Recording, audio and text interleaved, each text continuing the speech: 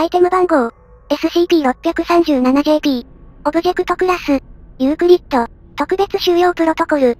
SCP-637JP はサイト、81の専用収容室、15×15 メートルの中央に設置されています。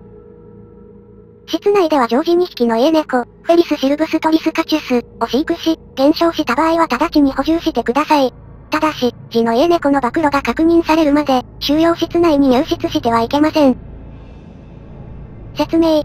SCP-637JP は、猫ちぐら、と呼ばれる稲わらを編んで作られた猫用の寝床です。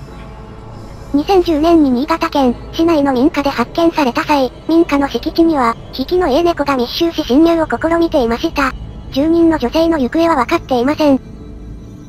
SCP-637JP を死認、または直接接触した家猫、以下、対象は、SCP-637JP を寝床にするようになります。暴露した対象は徐々に SCP-637JP の外で活動する時間が減少し、56日程で完全に SCP-637JP から出なくなります。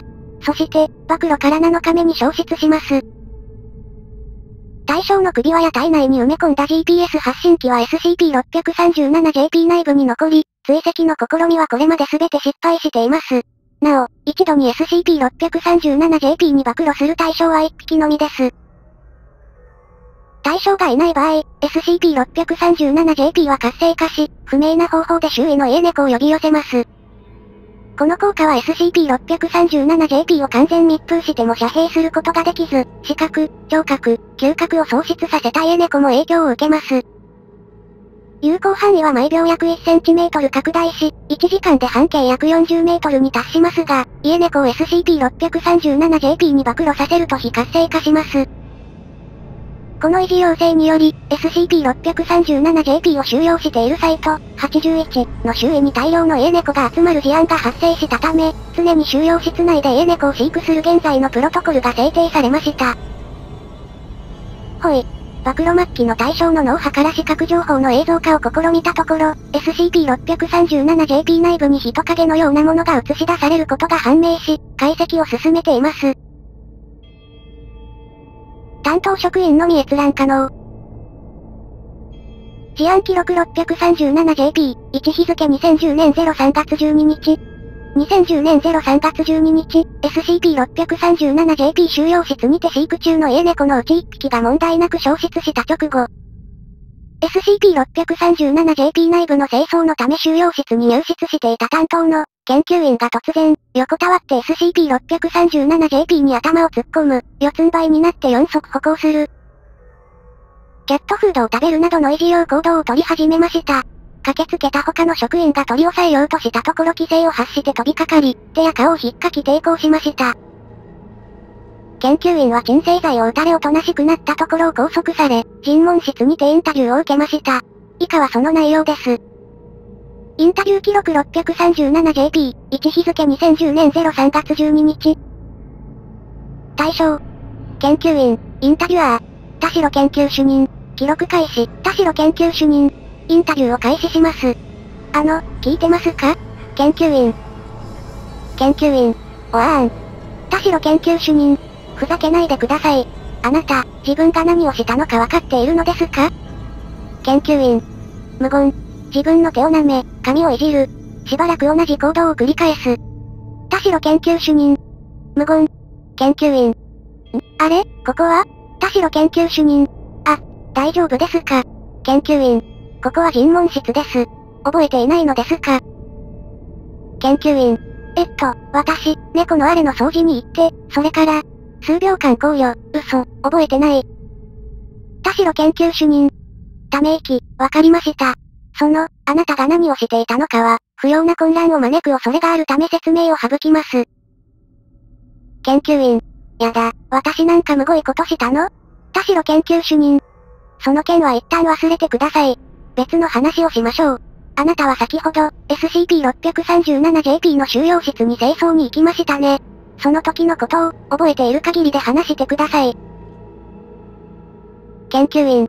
えーと、数秒間考慮、一匹がいなくなったのをモニターで見てから部屋に入って、SCP-637JP の方に掃除用具を持って近づいていったでしょ。もう一匹の子はあの時、隅で寝てたのを見てる。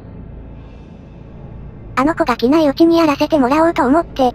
それで、中を覗き込みんで、ごめんなさい、そこから先はちょっと。いや、待って。確か、声がしたような。田代研究主任。猫の鳴き声ですかそれとも、研究員。うーん、猫じゃない。あれは、ああ、思い出した。人間の声よ。田代研究主任。何と言っていたかわかりますか？研究員。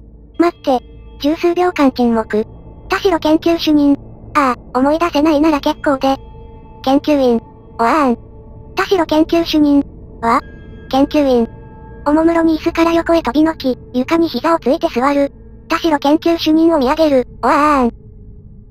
田代研究主任。インタビューを中止します。記録終了。終了報告書。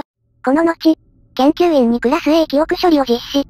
以降、異常な行動を示さなくなりました。研究員は SCP-637JP 担当から外されました。事前の実験では、家猫以外の動物が暴露することはないという結果が出ており、今回の異常行動は想定外でした。そのため、研究員の暴露前の行動に焦点が当てられました。T クラス職員を対象としたいくつかの追加実験の結果、暴露末期の対象の脳波から映像化された視覚情報を閲覧した被験者のみ、SCP-637JP に暴露するという結果が得られました。実験記録 637JP、日付2010年03月、日。被験者、T96125、40代、男性。家猫飼育歴がある。実施方法、暴露末期の対象の脳波から映像化された視覚情報を閲覧させ、その後、研究員と同様の状況で SCP-637JP に暴露させる。以後、収容室にて経過を観察する。結果、以下参照。1日メディ、96125は数分数時間おきに異常行動を発症。収容室内の猫用遊具で遊ぶ、4足歩行で室内を駆け回る、壁で爪を研ぐなど、非発症時はもう一匹の家猫の世話や遊び相手をし、食事も人間のものを問題なく完食。田代研究主任のスピーカーからの質問に対しては、居心地は悪くない。猫になってる時の記憶がないのは惜しい、と回答。夜は SCP-637JP を枕に就寝。二日目時用行動発症の頻度と継続時間が増加。食事に対して、味が落ちた、と訴え、ネギの味噌汁に口をつけず、非発症時でもキャットフードを好んで接触するようになる。数回、誰かに呼ばれている気がする、と訴える。SCP-637JP での睡眠時間が増加。3日目発症時間が覚醒時の8割以上を占める。食事はすべてキャットフードになる。T96125 は、おばあちゃんの声がする、としきりに訴える。4日目朝、夢におばあちゃんが出てきた。猫ちぐらを編んでいて、周りに同じのがいっぱいあった。猫に囲まれて幸せそうだった。俺も早く行きたい、と発言。これを最後に、P96125 は一切の人間的行動を取らなくなる。一日の大部分を SCP-637JP のそばで過ごす。身体が縮み始める。なお、この段階まで進んだ被験者に記憶処理は無効であることを確認済みである。5日目 D96125 が SCP-637JP から完全に離れなくなる。身体がさらに縮み、体表だけで覆われ始める。さらに骨格に変化が現れる。6日目 D96125 の形態が完全に家猫のそれとなる。血液を採取したところ、97%家猫の DNA となっていた。体調も性病程度になり、SCP-637JP に初めて全身が入る。7日目 D96125 が消失。